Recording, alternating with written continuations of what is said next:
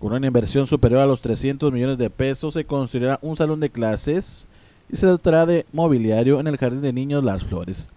El plantel que se ubica en la colonia Ampliación Las Flores fue visitado por el alcalde de Ciudad Madero, José Andrés Zorrilla Moreno, y el director del Instituto Tamaulipeco de Infraestructura Física y Educativa, Germán Pacheco Díaz, para colocar la primera piedra de la obra.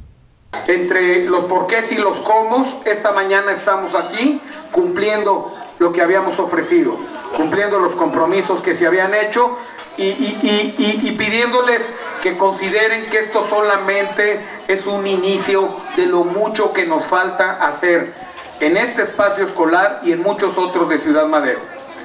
Por eso es que le damos esa relevancia tan importante.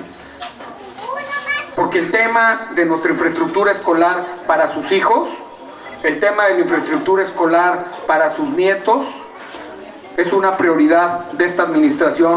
La inversión proviene de aportaciones múltiples 2015, remanente y la obra durará en su construcción 100 días.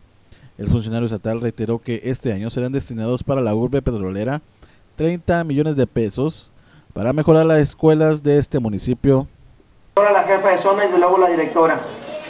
Yo creo que aquí en aproximadamente tres meses, por ahí el constructor, no lo veo, ¿90 días? ¿Cuánto es? 90 días. Vamos a darle 100 días. Vamos a darle 100 días para la terminación de esta obra, que son de las cosas que nos encargó el gobernador, su amigo, el licenciado Francisco García Cabeza de Vaca. Ponerle atención al proceso y construcción de la obra. Y así lo vamos a hacer, ¿eh? Y así lo estamos haciendo ya con lo que esta administración ha comenzado con los banderazos. En las imágenes, Ramón Guadalupe Mar, Oscar Mascorro, Noticieros Canal 26.